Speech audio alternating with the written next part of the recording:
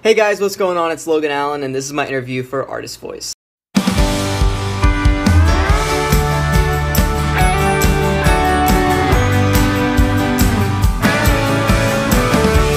Jump into it.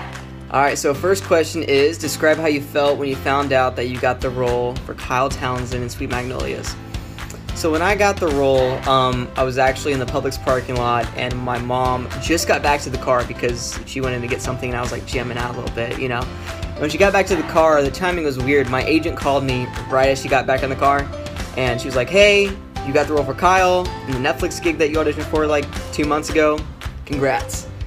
And it was just it was incredible because I mean that's always been one of my dreams is to be on a Netflix show or a Netflix film. Just a Netflix thing in general has always been a, a dream of mine. Um, so just being able to to get that phone call and and to have it be official, it was it was incredible. It really was. Um, so yeah, that it was just, it was pure joy, really. I mean, I just I it was literally unbelievable. Like I couldn't believe it. Um, so yeah, just pure joy. Uh, second question. Um, did you expect to hear that this series, Sweet Magnolias, got renewed for a second season?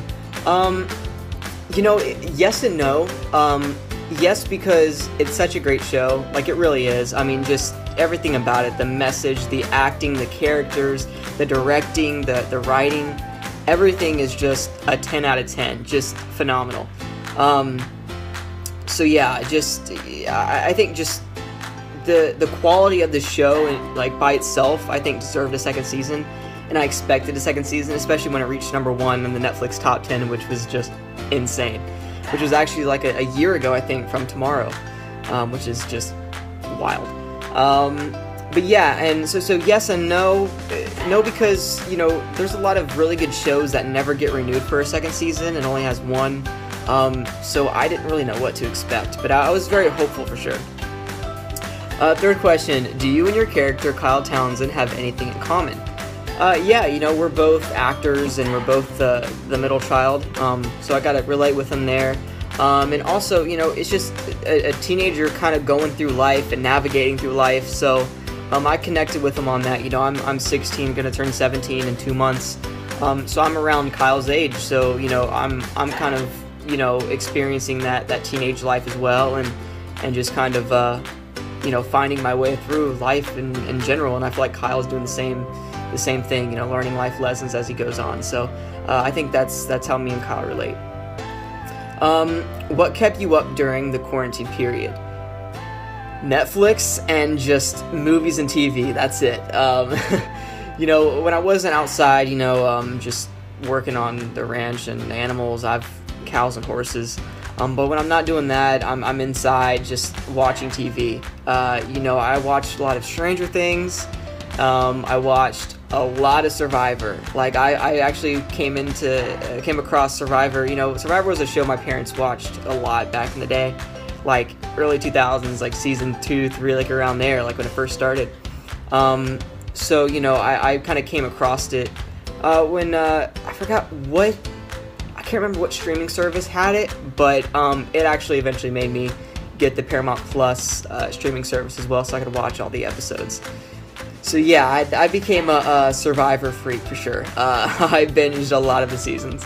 So yeah, just TV and just watching movies all the time is basically what kind of kept me going during quarantine.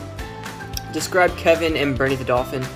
Um, so yeah, Bernie the Dolphin's a fun family film. Like if you guys are ever gonna do a family movie night and you don't know what to watch, put in Bernie the Dolphin. They, like the kids are gonna love it. Um, you know, it, it's it has that amazing humor, that awesome just adventure. Uh, it obviously has dolphins and stuff in it, so a kid doesn't love that? And uh, also, the parents will see a lot of people, a lot of actors they know. Um, you know, Patrick Muldoon and uh, Kevin Sorbo. You know, Hercules. You know, he was in uh, he was the old Hercules.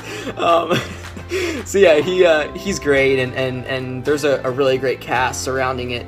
Um, so yeah, uh, but describing Kevin, Kevin is a, uh, a videographer, photographer. Um, you know, he loves directing things. Um, his dream is to be a director. Um, so that was really fun playing him because I want to be director as well.